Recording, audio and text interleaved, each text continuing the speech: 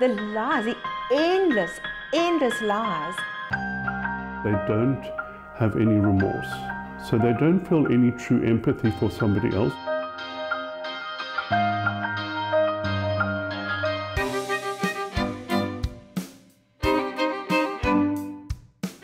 I think all these split personalities that she has seems to be able to divide her emotionally to not seem to feel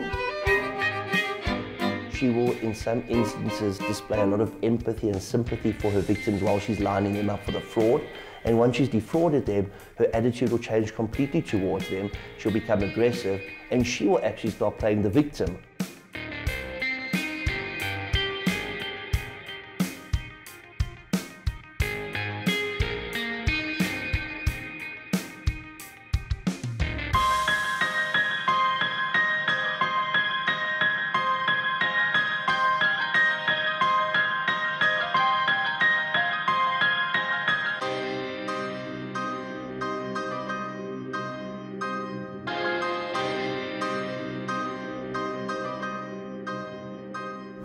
Houses away from here stays a woman who has constructed a fantasy out of her life.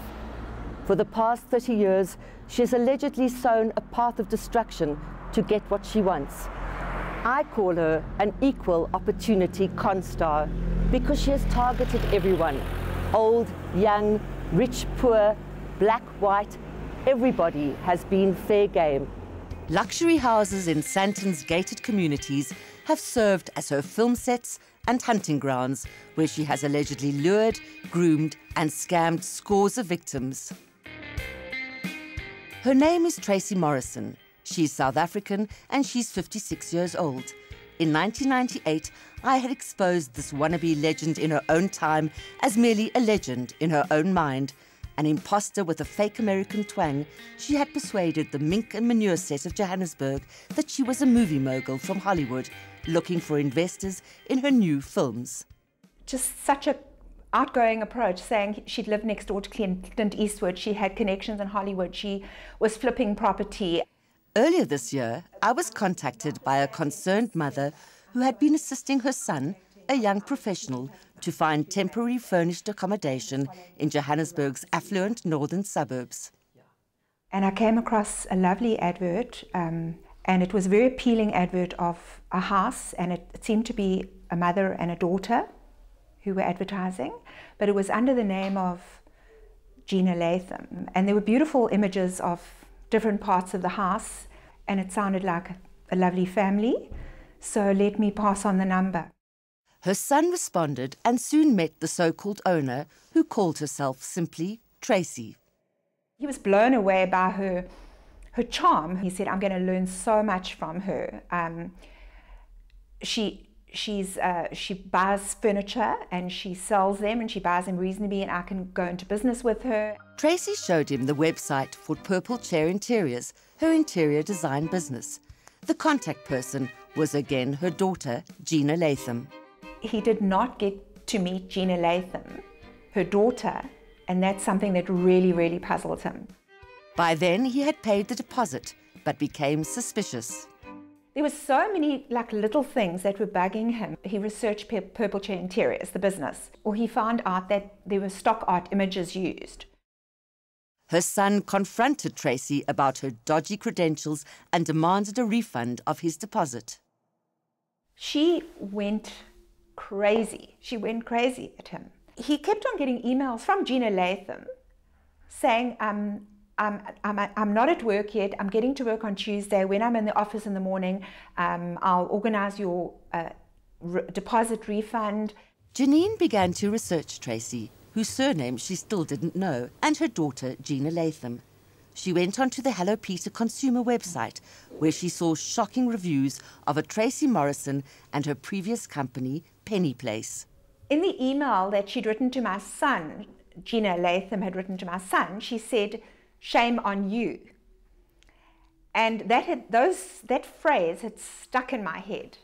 When I looked at the Hello Peter review on the 22nd January, there was a, um, a reply to all the, the messages um, about the penny place. And don't rent from Tracy, da da da da. All these people had written things, and then there was a couple of reviews. Then one was Natasha Worthington, the other was Gina Latham, and saying, Tracy's done amazing work in my home, and I can't believe that all of you can say these things about um, Tracy. Shame on you. I discovered that Gina and Tracy are one and the same people. Yes. And she not only has Gina as her as her other name, she has numerous other names. Since December 2017, Gina Latham had advertised homes on Gumtree 41 times. Morrison's other alias, or alter ego, was Natasha Worthington, supposedly her PA. People with this problem have of being able to live in two worlds simultaneously, two moral universes, um, a reality and a constructed reality. So, for instance, if they were to get into trouble, they would construct a story to explain what had happened. And in a very short time, that story would become their reality, and anyone who confronted them with the reality would be lying. So, what are some of Morrison's alleged scams? Impersonating an FBI officer, but we'll get to that one later. Defrauding people by coercing them to invest in bogus businesses. Pretending to own upmarket homes and subletting them as house shares, keeping the rental for herself and withholding refunds of deposits, thereby defrauding both her landlords and housemates failing to pay staff and contractors despite undertaking to do so. I think she wanted people who were perhaps going through a little bit of a difficult time. She also tapped on people who she could easily mold, perhaps who were financially able to become a part of her web, but then also manipulate and break them down. This young woman was one of Morrison's former housemates. I Googled. I found her on Gumtree. It was very close to my work as it's in Sandton, so that was a plus point. I made contact with her. Obviously, she asked to tell a little bit about yourself. That way, finding out more about how vulnerable you are. Janine has since set up a WhatsApp group for Morrison's victims, and they meet sometimes to give support to each other and to compare horror stories. Most have requested anonymity.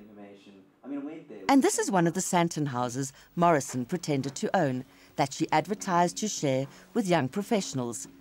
They say she became abusive, her behavior bizarre, and her moods extreme. There were rules, but you weren't aware of it. But as soon as you trespassed, you were put in, in your place. You were, you were so terrified. I was terrified of doing anything. Didn't want to touch her stuff as she goes from zero to, to extremely crazy, angry in a second.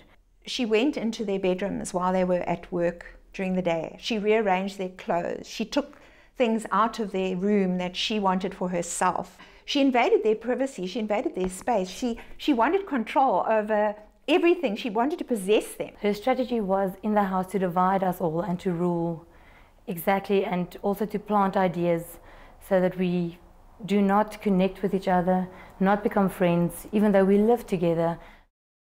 In fact, Morrison's behavior was allegedly so manipulative and abusive that her traumatized housemates sometimes fled in fear after only a few days or weeks. The verbal abuse was crazy. One night she swore at me so much, the next morning I said, I'm leaving. And then, you know, starting to inquire about my deposit, I'm realizing I'm not going to get it back and Morrison assumed the persona of her fictitious PA, Natasha Worthington, to avoid refunding her young housemate. Natasha would say, It's been done now. Um, everything money side was Natasha, not Tracy. So all the blame was, you know, Natasha couldn't get to this. It was the systems were down. I think they've been so hurt in so many different ways, um, not only financially, um, some small, some hugely financially scarred, but emotionally.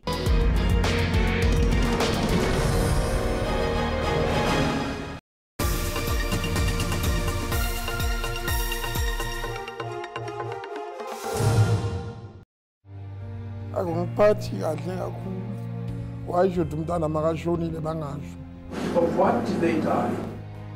ngifuna i-death certificate yomntwana ngifuna i-paperwork yasesibhedlela Back-to-back victories for Bongmusa Mthembu, his second down run victory. It was very emotional, you know. Uh, I've been putting a lot of work on, in the, on my training. I'm very happy. Coach is amazing. Just completely unexpected, just a dream come true.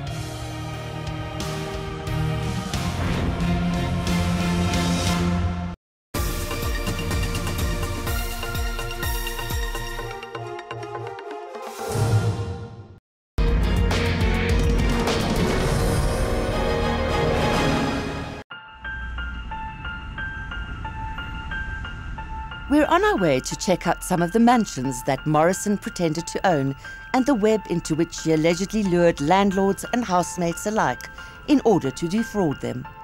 With me is SABC cameraman Mangoba Nkosi. Our route traverses Bryanston, Morningside Manor, and River Club, all of these suburbs located within the municipality of Sandton. First on the list is a palatial home in Bryanston, number 53 Westburn Avenue. We're now approaching one of the luxury homes Tracy occupied between July 2011 and August 2012. She operated one of her businesses here called Honey Your Home, and eventually she was evicted after owing the landlord something in the tune of 240,000 Rand in arrears. The landlord eventually sued her, and although Morrison indicated she was going to defend the lawsuit, she landed up defaulting on payments to her own attorney to the tune of almost 8,500 Rand. Between 2012 and 2018, Morrison occupied at least half a dozen homes, pretending to own them and advertised them as house shares with a rapid turnover of housemates. And at that point, the rotation of her housemates was so frequent that she should have installed a revolving door just to keep track of who came in and who left. In fact, the landlord of this house in Calvin Drive was allegedly so outraged by her that he removed the driveway gate. She said it broke. Apparently, the owner of the home came and removed the gate. So she would tell me the next morning she's very tired because she heard something. So she was patrolling the property with her gun. According to several former housemates, Morrison often bragged about owning a gun and even implied that she might shoot them, accidentally, of course. Then there was 11 Cedar Avenue. There, Morrison hosted tequila parties as well as raunchy bachelorette bashes, replete with male strippers, where she always got in on the action. The property was managed by Marissa Daniels on behalf of the owners who lived overseas. They had agreed that Morrison could stay there rent free for the first two months if she repaired the house. But Morrison allegedly reneged on the agreement. Got a nightmare. At one stage, I was covering the rental, the bond, because there was a bond on the property, Right. so that the bond wouldn't bounce. I finally got her out, which was the end of July, and all the things that she said she was doing and paying for, and I was paying for, she didn't do. We have incriminating evidence from about 20 of Morrison's victims, who in total she allegedly scammed out of millions. And this was probably just a fraction of her victims. One of the most cruel cons she allegedly pulled was against a young family she had befriended. She she portrayed herself to be an honest, open, good friend, like there to listen to you. All personal, interpersonal interactions are manipulative and they are people who use interpersonal reactions for their own benefit. They exploit people. She told us that she'd been a part of the FBI. Um, from there, she'd been, from what I understood, recruited to South Africa to be part of um, a, a special force of some sort in, in Johannesburg. Um, she also mentioned that during all her her exploits, she'd been shot, I think, three times. It was the depth of stories. Yeah. That's that's what sold it.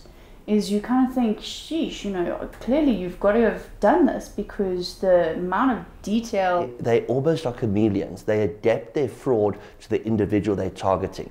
So they will meet with people or they will they will come across individuals and they will see what that person needs and they will structure that fraud specifically for that person. So that person it's far easier for them to part with their money because it seems like a match made in heaven. She knew that Bryony cannot will not could never allow anybody to think poorly of her or to have a bad opinion of her or hmm. For her to feel like she's not helping enough. And Tracy picked up on that to a T. She that was that's, that's how she got Bryony.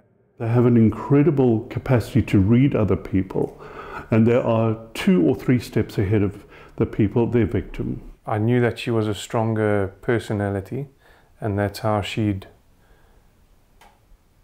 gotten Bryony to for lack of a better term, follow her the way she had. Um, but I didn't realize where we were heading. Friendship was not what Morrison was after. She wanted Bryony to invest in her bogus business and even offered her a partnership. She said she was tired of her partner not helping her and getting all the return of the the money. She would rather give it to someone that um, wasn't a fat cat. This is how she liked to call her partner or call rich people. And she said that she didn't want the large amount of return that was coming to go to him. She wanted to buy him out quickly. Um, and she said that I could then take that share, pay off um, the remaining of the buy in with that share. In her words, that was helping out a friend to make some money. Yeah. So to help us out as friends. She lives this high life. She makes you see, you know, this m- money, this how she's living and how amazing it is. What you don't realize is that's your money. She's taking you to lunch to have sushi with your money. And you're like, Oh, thank you so much for paying. It's so lovely of you. And now you just feel like an idiot. Morrison also persuaded Bryony to invest 20,000 Rand in a bogus consignment of furniture, promising massive returns. The deals would cost the young couple 180,000 Rand, funds that were supposed to go for their children's education. That's probably the hardest thing for me to swallow is the fact that Nick gave me that money to to do something with and I could have done something awesome and she just didn't care. I think we just want on the Tracy perspective for her not to be able to do it to anyone else and to get her comeuppance and have something happen where she actually realizes that she's been caught out whether it be a jail sentence or, or whatever the case is. Um, but on a whole, just to make people more aware.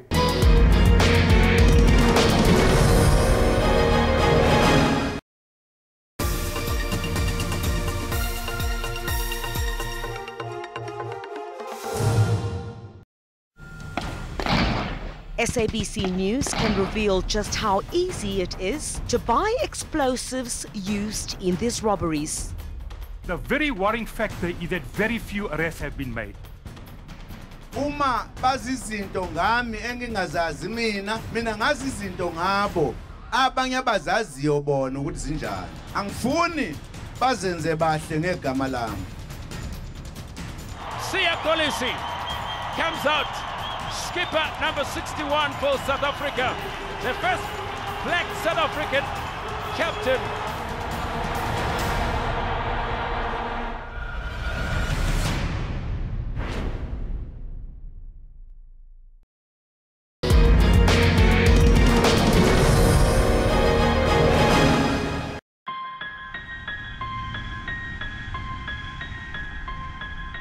With her pseudo-American twang, and tales of how she had bedded and wedded Hollywood A-listers, Tracy Cavell Morrison wanted her victims to believe she belonged to Tinseltown royalty.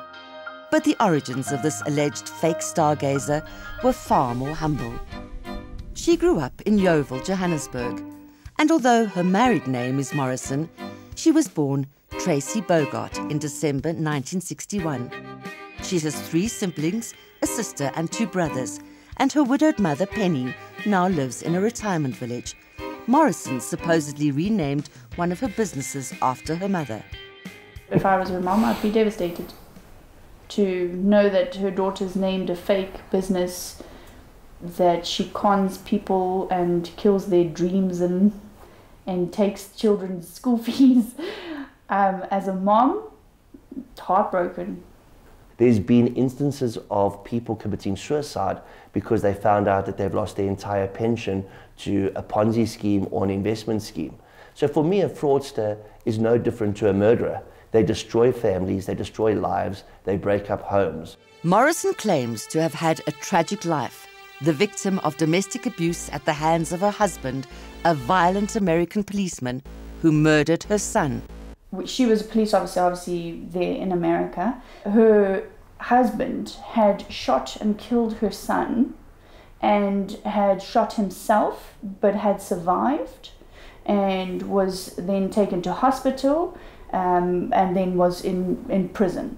And she was a bit upset because he was going to be released soon. Although there seems to have been some real tragedy in her life, it was far less melodramatic. According to family members, she was a teenage mom whose child died mysteriously at the age of three. Tracy was a teenager. She fell pregnant when she was a teenager. So we think that from then she's been psychologically unbalanced. The way we see it in psychiatry is that it's a combination of, of certain inherent factors which are partially genetically determined and plus environment. Clearly, there's something that's wrong with the wiring of the brain. Special Assignment has uncovered the docket numbers for at least eight charges of fraud against Morrison from as recently as May 2018, going back as far as 1987. Most of the charges were laid at Sandton Police Station, which serves all the suburbs in which she's lived for the last 13 years, yet she seems to have continued her cons with impunity. I find this quite bizarre because she's known to the authorities. She's known to the authorities as having been a con artist in the past. She's known to the authorities as having multiple cases opened against her. A Windeed company search has also revealed that since 2009, she has registered four interior design companies. While they might have started out as legitimate businesses, from the documents provided by scores of victims, they evidently became vehicles through which to conduct ongoing fraud.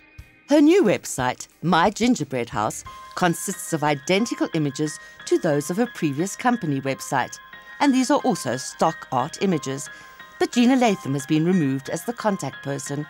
We called the number to confirm that it was Morrison up to her old tricks.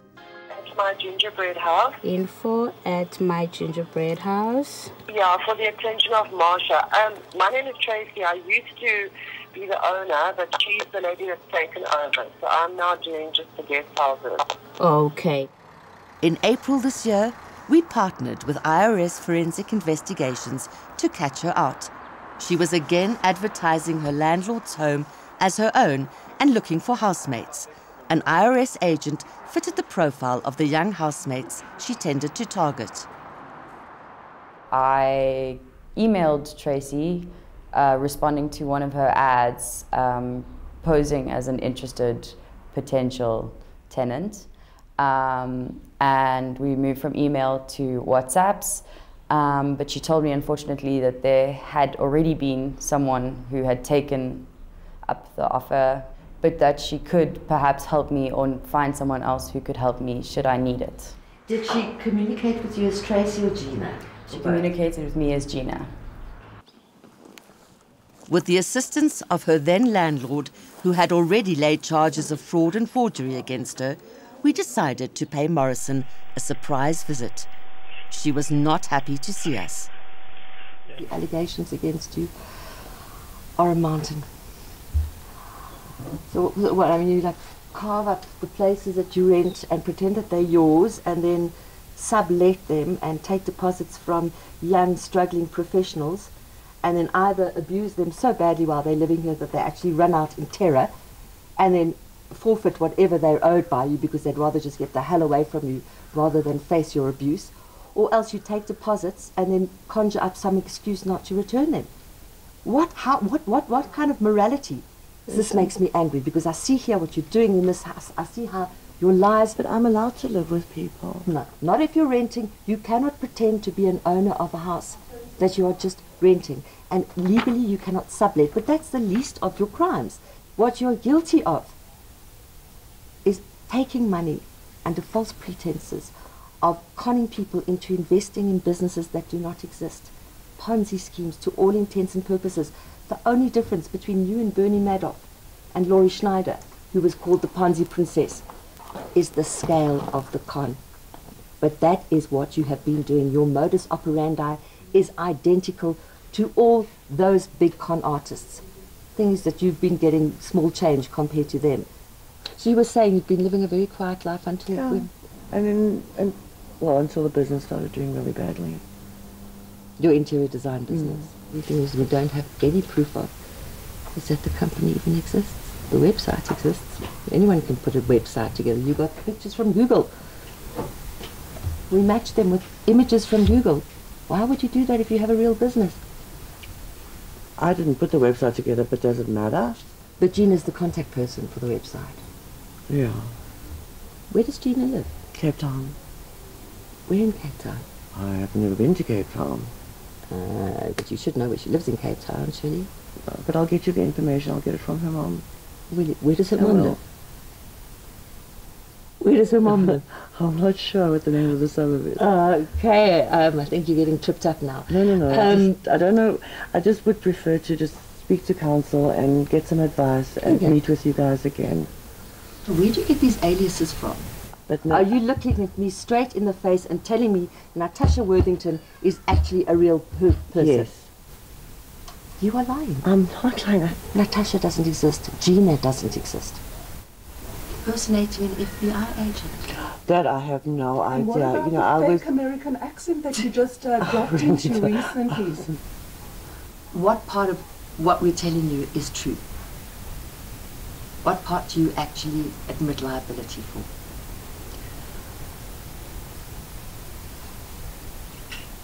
I just want her to speak to somebody. And, and, and she's, I guess she's entitled to do that.